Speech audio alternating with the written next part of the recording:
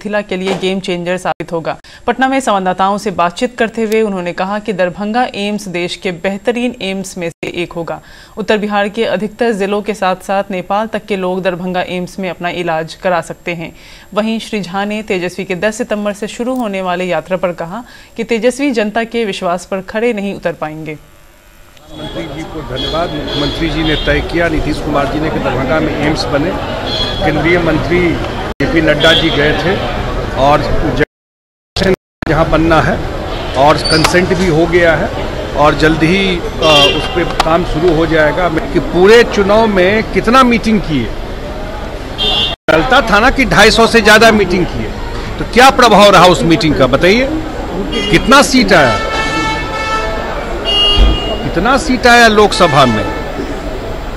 जनता अब देख रही है कि डबल इंजन की सरकार है, जो काम बिहार में चल रहा है। इसलिए कोई भी यात्रा कर ले, जनता के विश्वास पे वो चढ़ नहीं पाएँगे।